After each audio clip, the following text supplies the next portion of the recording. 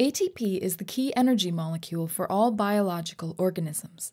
One source of ATP is glycolysis, a series of reactions that break down sugars while producing ATP.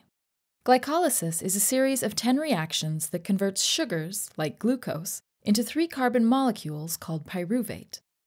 Glycolysis is an important pathway for cells because it produces ATP, and other products such as NADH and pyruvate that can be used later to produce more ATP for a cell. This key process takes place in the cytosol of the cell.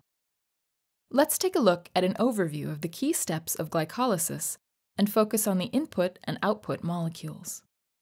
The first five steps of glycolysis convert a six carbon sugar, glucose, into two three carbon sugars, glyceraldehyde 3 phosphate. To do so, ATP is consumed in the first and third steps. Both of these chemical reactions are catalyzed by an enzyme known as a kinase, and both reactions are irreversible. The next five steps of glycolysis produce energy. One ATP is made per glyceraldehyde 3 phosphate in both reactions 7 and 10. This means a total of 4 ATPs are produced in glycolysis. Both of these steps are carried out by a kinase reaction. Note that step 7 is reversible, while step 10 is not. It is important to remember that the products in steps 6 through 10 are formed for each of the glyceraldehyde 3 phosphate molecules generated in steps 4 and 5.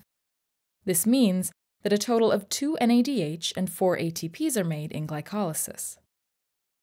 Because two ATPs were spent in the early steps of the pathway, glycolysis results in a net of two ATPs. There is one more key product of glycolysis to consider called NADH. NADH is formed in the sixth reaction by an enzyme called a dehydrogenase.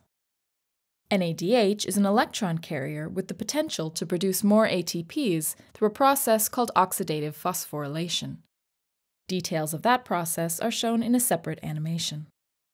As you can see, glycolysis is a process involving multiple enzymatic reactions that break down sugars. Its major contribution to biological organisms is the production of ATP, which is used to drive many other biochemical pathways.